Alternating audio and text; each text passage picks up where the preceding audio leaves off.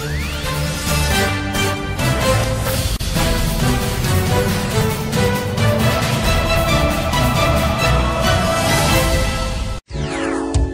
dia. Está no ar sua TV Agendão e começa mais uma edição do seu Jornal do Dia.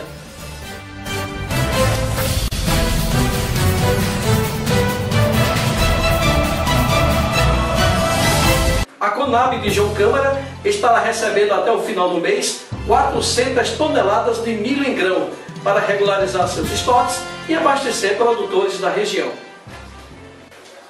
O programa Venda em Balcão da Conab, que comercializa o milho em grão, está temporariamente suspenso até que a companhia receba um novo estoque próprio vindo do Mato Grosso. São 400 toneladas e virá por via rodoviária.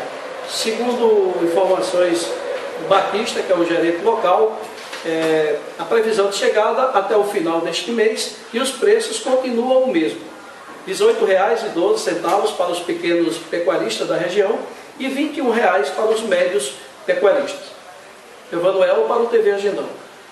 Liberado o pagamento do Garantia Safra 2012 e 2013 e a Prefeitura de João Câmara se articula para entregar boletos na próxima semana. Governo liberou o pagamento do Garantia Safra 2012 e 2013 estava em atraso e os agricultores já começam a procurar o sindicato para receber o benefício. Manuela é secretária do sindicato. É bom dia, Manuela. Qual é o procedimento para que os agricultores possam receber seu benefício?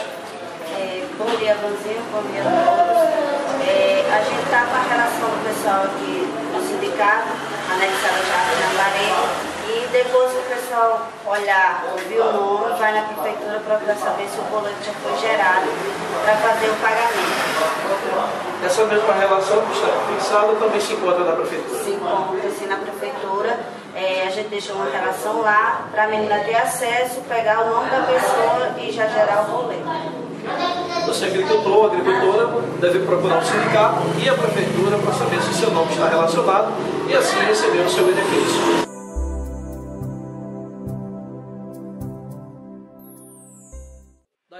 É da Secretaria da Agricultura do município e já começa a mobilização para se fazer os boletos para o pagamento seguro safra. Né? A partir de quando está disponibilizado para os agricultores o boleto? A partir da próxima semana, os agricultores podem procurar aqui na prefeitura a partir das 8 horas até meio-dia e de 2 horas às 4 horas da tarde. Ok. Emanuel Taliba para o TV Agendão.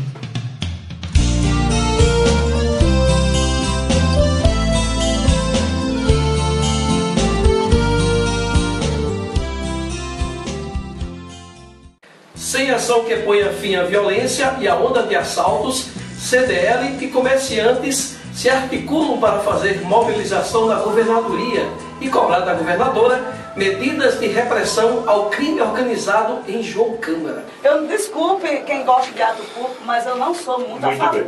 Certo? Então nós estaremos nos reunindo na próxima semana, a data, eu virei dizer aqui, os blocos irão saber. Já passou o tempo de colocar é, os pés na parede a, para com essas autoridades. Exatamente. Então, acho que está na hora. bons olhos para a região. Porque o que ocorre é que, é que o que ocorre é que as pessoas não sabem o quanto giro de dinheiro pagos pelos empresários né, de nossa região. Então, João Câmara, a economia do município de João Câmara, Carlos Silva, 90% dela é do comércio. Então, acho que é a hora do comércio se juntar e ir lá no governo do Estado exigir o direito que tem. O que ocorre, dia desses, Carlos, se você você está estourado seu tempo, uhum. mas a proposta de um dos políticos aqui de João Câmara eleito pelo povo não, não, é, não é o caso do prefeito, não foi o prefeito. Só para deixar exceção. O político vai propor CDL de nos reunirmos para fazer cotas de dinheiro para bancar é uma, uma polícia mais efetiva. Eu não concordo. Nós já pagamos altíssimos impostos. Nós temos comércio em João Câmara, mercadinho de ponto de rua que paga 15 mil reais mês de imposto. Mercadinho de ponta de rua. Então, quer dizer, fica complicado a gente pagar 15 mil de imposto e ainda querer pagar por fora uma segurança. Isso não, não existe. Há não há possibilidade. Então, quer dizer, a gente tem essa preocupação. É, pedimos é, é, aos empresários... Segurança privada para coisa pública. Exatamente. Né? Não, não tem sentido. Então, nós vamos nos Os reunir... impostos são pagos por todos nós. Onde é que fica? É, você comprou uma caixa de Então, fósforo hoje é 17% em é, cima. é, onde é que fica? Então, acho que a gente tem que exigir os direitos, porque a Constituição ela é clara. Ela diz que nós temos direito à segurança, educação,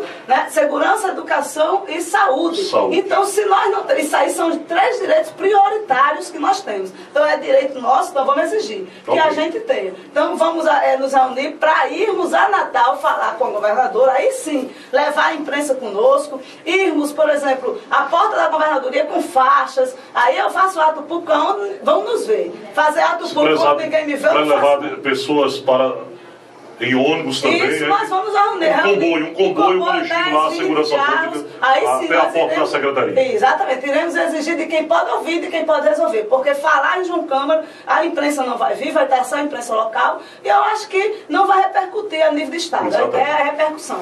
Certo? Então Um a gente vai se organizar e se reunir. Um abraço, que Deus abençoe a todos. Fica é, Notícias. Emanuel Taliba, a gente está, a de João Câmara, Câmara Dirigente Logistas, como sempre, tem se preocupado com essa questão de segurança em nosso município. Por quê?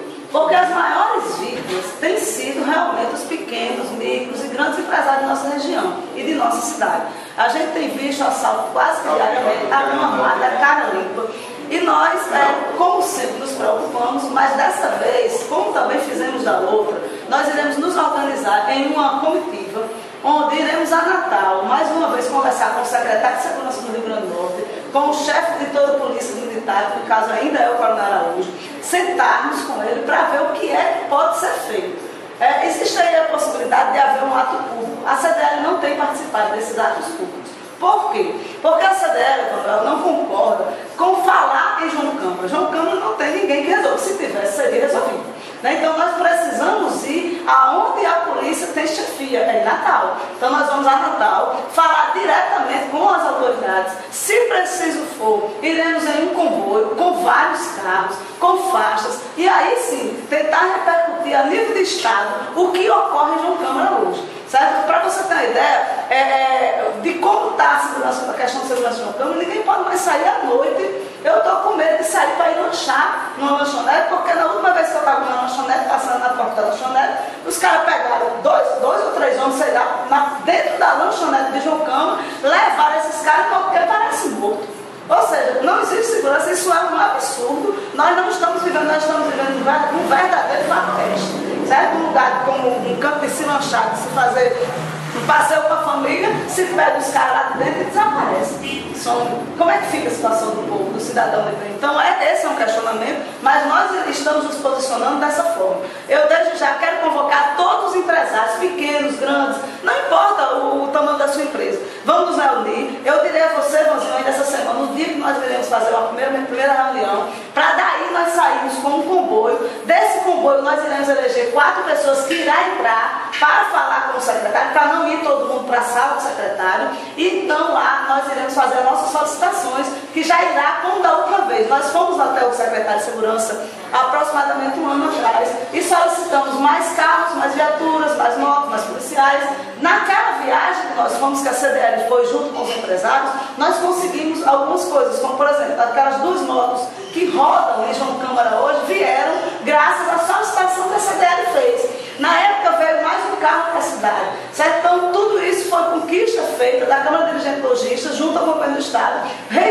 Reivindicação a quem faz, a quem pode resolver. Então, essa, esse é o nosso pedido. Nós eh, não iremos participar da questão de ato público, não. Não estou aqui contra quem faz. Podem fazer, mas nós iremos sim nos reunir. Você, Vanzinho, é meu convidado especial para nos acompanhar nesse dia da viagem a Natal, para entrar conosco na sala da governadora, se ela for nos atender, ou na sala do secretário e, e fazer toda a cobertura. Certo? Então, quem quiser acompanhar com melhor qualidade, vai ver diretamente no agendão.com. Você entra, vai, vai acompanhar e ver que está sendo feito algo para que as coisas melhorem. Muito obrigada e.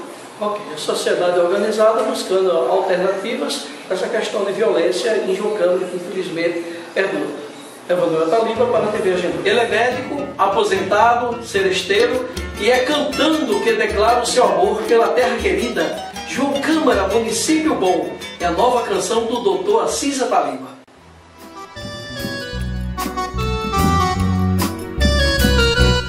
Vou comer galinha em morada nova, vou assar castanha no amarelão, vou bater um papo na praça de queimadas, curtir um passeio lá em Assunção. Câmara, município bom, município bom, município bom. Câmara, município bom, município bom, município bom. Nossa edição termina e agradecemos a todos que nos acompanham. Recomende o nosso agendão.com.br a outras pessoas e compartilhe os nossos vídeos na internet. Você estará ajudando a promover João Câmara, orgulho de ser potiguar, ao mundo inteiro. Até a nossa próxima edição. Brasil!